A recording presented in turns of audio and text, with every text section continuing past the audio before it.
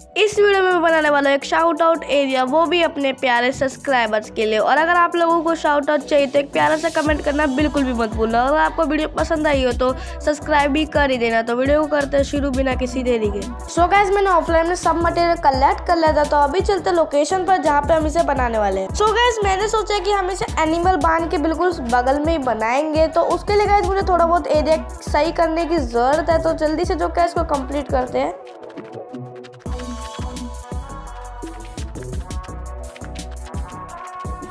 तो finally guys काफ़ी देर के बाद मैंने अपना जो क्या एरिया क्लीन कर लिया है तो अभी जो क्या शुरू करते हैं इसको बनाना। तो एक परफेक्ट लोकेशन ढूंढते हैं जहाँ पे हमारा पहला बोर्ड बनने वाला है। तो यहाँ पे टू थ्री फोर उसके बाद मैं यूज़ करने वाला हूँ डीप स्लेड के ब्रिक्स तो जो क्या यहाँ पे चार तक लगा देते हैं।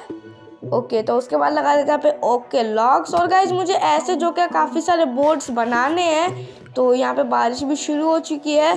तो अब जो क्या बाकी के बोर्ड्स भी फटाफट से बना देते हैं।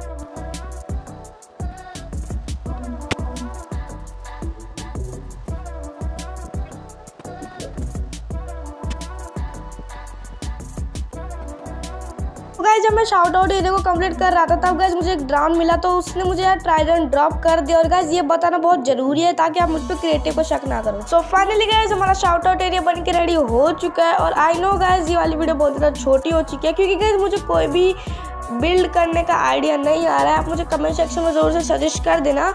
और प्यारा सा कमेंट करना भी मत भूलना। तो मिलते हैं इंटरेस्टिंग नेक्स्ट एपिसोड में। जब तक के लिए बाय बाय